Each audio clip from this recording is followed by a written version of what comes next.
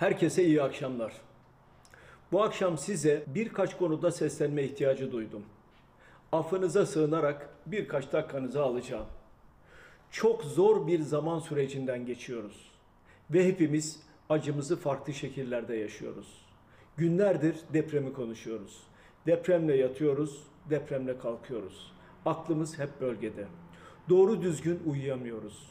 Boğazımızdan geçen her lokmanın vicdan azabını çekiyoruz. Lokma ya, lokma.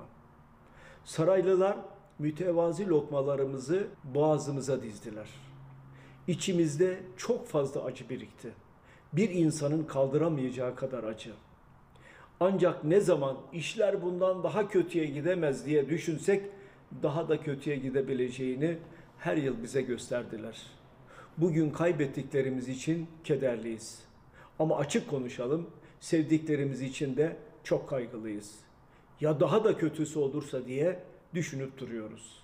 Evet, 84 milyonluk koca bir ülke ruhsal olarak o enkazın altında kaldı.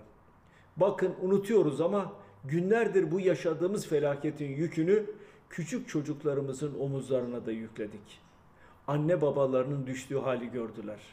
Onların çaresizliğini gördüler. Genç anne ve babalara sesleniyorum. Biliyorum çok zor.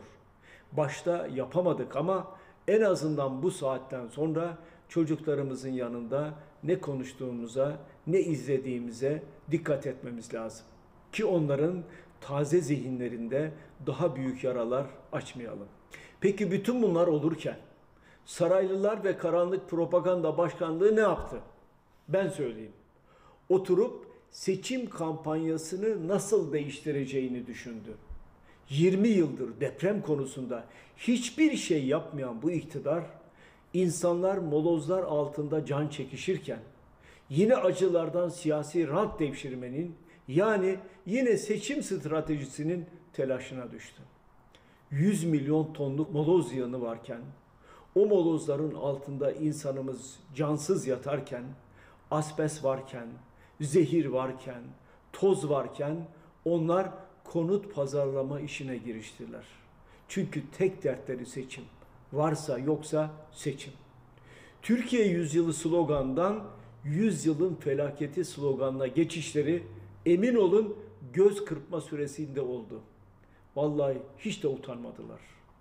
Dünyanın bu yüzyılı bizimdir iddiasıyla yola çıkan bu zevat depremin 19. gününde hala vatandaşına çadır götüremedi, çadır. Covid-19 sırasında 5 maskeyi dağıtamadı. Orman yangınında uçak kaldıramadı. E doğal olarak ekonomiyi batırdı. Türkiye'nin yüzyılı oldu mu size felaketin yüzyılı? Evet oldu.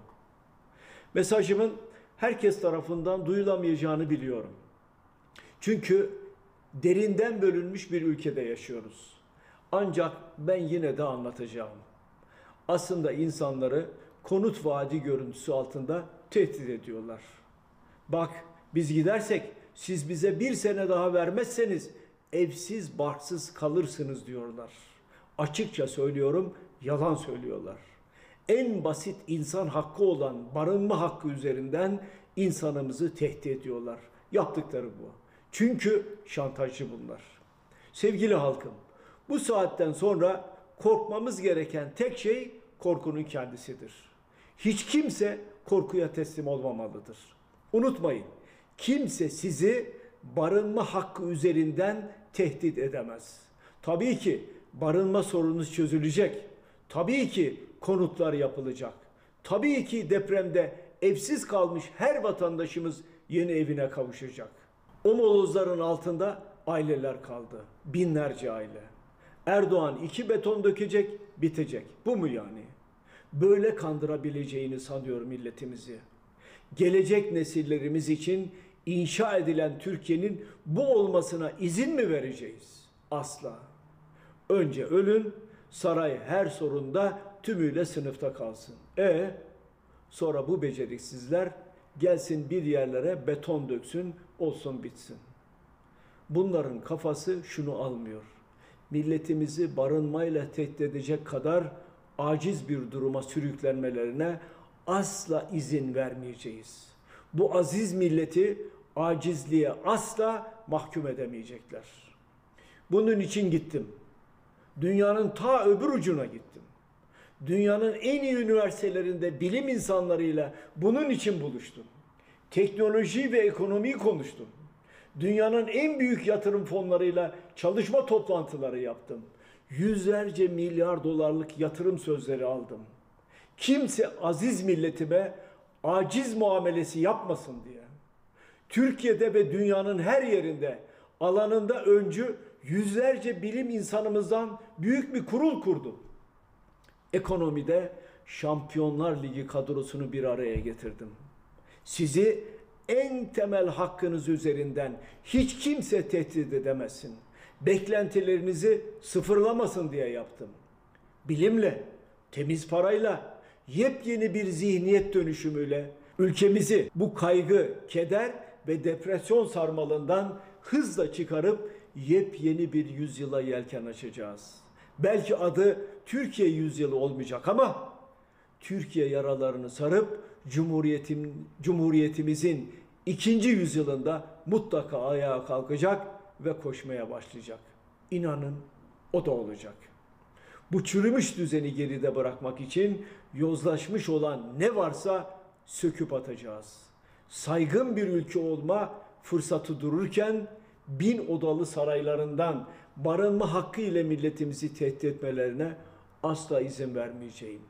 Onlar alçaldıkça unutmayın biz daha da yükseleceğiz. Merhametli, dirençli, nezih insanlarımızla birlikte yürüyeceğiz. Birlikte yükseleceğiz. Bu şantajlarına bu onurlu millet asla papuç bırakmayacak. Dünyanın en iyi ekibi çalışıyor. Benim dedikodulara, magazine vaktim yok. Türkiye bizi bekliyor. Birlikte yapacak çok işimiz var halkım. Barınmadan çok daha fazlasını hak ediyorsunuz ve hak ettiklerinizi alacaksınız. İyi akşamlar.